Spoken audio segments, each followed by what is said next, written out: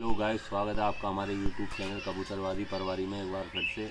आज हम आपको कबूतर में बीमारी जो चल रही है इस टाइम लगवे की बीमारी का इलाज बताएँगे, जिसमें आपको क्या देना है कबूतर को, क्या नहीं देना है, उसके लिए हम आपको बताएँगे वीडियो में।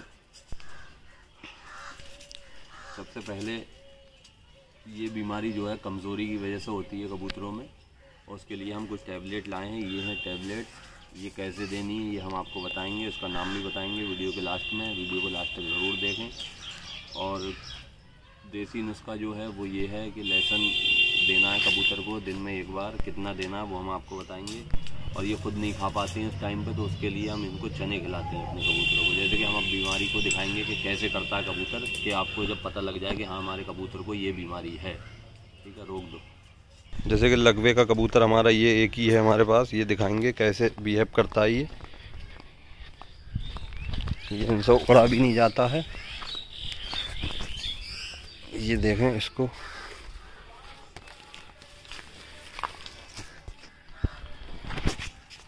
ये देखना इसको खिलाना कैसे हम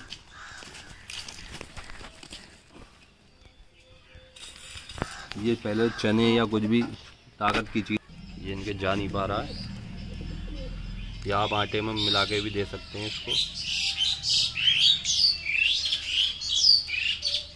और वो कैप्सूल देखें, आप अंदर चला गया है। ये देखें कैसा टेढ़ा टेढ़ा भाग रहा है, देखो।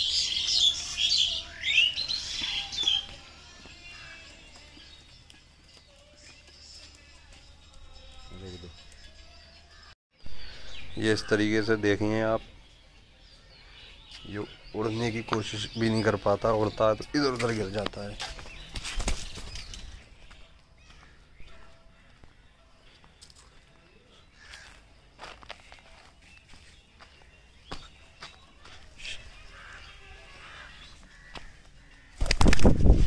ये देखें कहाँ गिरा जाके वहाँ पे।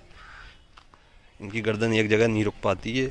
इस बीमारी से बहुत ख़तरा रहता है मतलब कमज़ोर ना हो पाए, उसको खिला, दाना देते रहें कुछ ना कुछ और कम से कम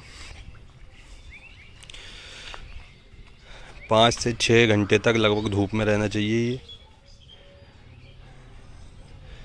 आप इस तरीके से इनका ट्रीटमेंट करते, कर सकते हैं हंड्रेड परसेंट ये ठीक हो जाएगा। जैसे कि हमने आपको बताया कि कैसे टैबलेट देनी है, कैसे क्या देना है, इसको आपको वीडियो में बताया। और ये टैबलेट का जो नाम है, ये मॉक्स ढाई सौ होता है, ये एंटीबायोटिक है।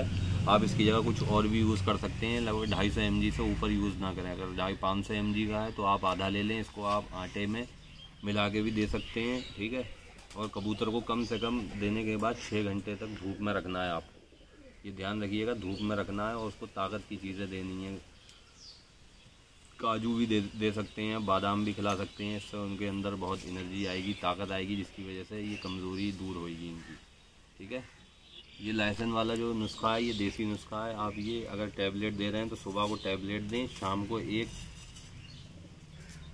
एक ज़्यादा बड़ी गिरा नहीं देनी, इतनी इससे मतलब आधी आधी खिला देना है इसको, खिला के इसको रख देना और अपने सारे कबूतरों से इसको अलग रखें। और कबूतरों के साथ मिला कर ना रखें, जिससे ये और भी कबूतरों में बीमारी आ सकती है। वीडियो को देखने के लिए शुक्रिया। लाइक कीजिए वीडियो।